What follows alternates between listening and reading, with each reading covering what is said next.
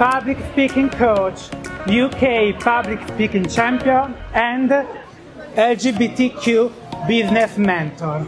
If we want equality in the workplace, we have to stand up and speak out. That's where I come in, like today. What is the issue about diversity and inclusion? Do you have any idea? Any takers? Don't be shy. What can be why we don't move in this process? Okay, I'm going to tell you. Oh, ready to go? Unconscious bias. We all have unconscious. If you want to have success with your company, you have to apply these strategies on diversity and inclusion. Some of the strategies that I would like to share with you are three.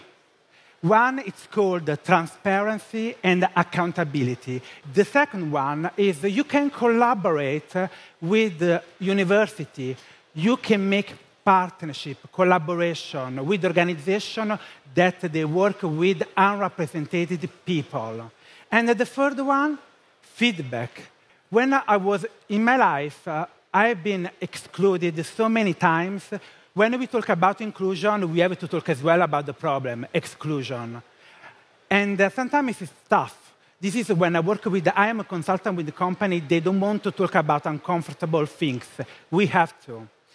And uh, the reason I am here today is because I wanted to share with you how you can make small steps in this uh, process I would call a revolution, the revolution of diversity and inclusion.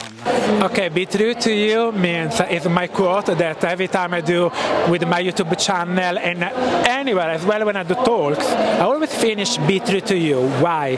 Because it, it means be authentic. And authenticity, authenticity is one of the most important value today. If you, and uh, as well when I work with my clients, uh, with LGBTQ people, how they can come out in the workplace safely, you know, in a, in a safe, in a safe way. To you. Again, be true to you. All together. Be true to you. An agent for change. What does it mean? That when I talk about communication and I do workshops on that, I always say during the workshop that we have a pie and we know that 55% of the communication is the body language, 33 is the way we, the way I speak, the tone, and only seven is my words. At the end of my talk, you will not remember probably, hope that the one thing that you will remember, but something that you will remember is the way I speak, my tone, and at the end, after a few days, probably you have a memory of something.